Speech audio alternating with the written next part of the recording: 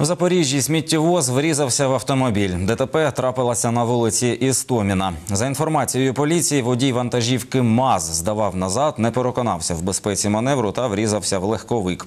В результаті ДТП ніхто не постраждав. Машини отримали легкі механічні пошкодження. На водія МАЗа патрульні склали адміністративний протокол.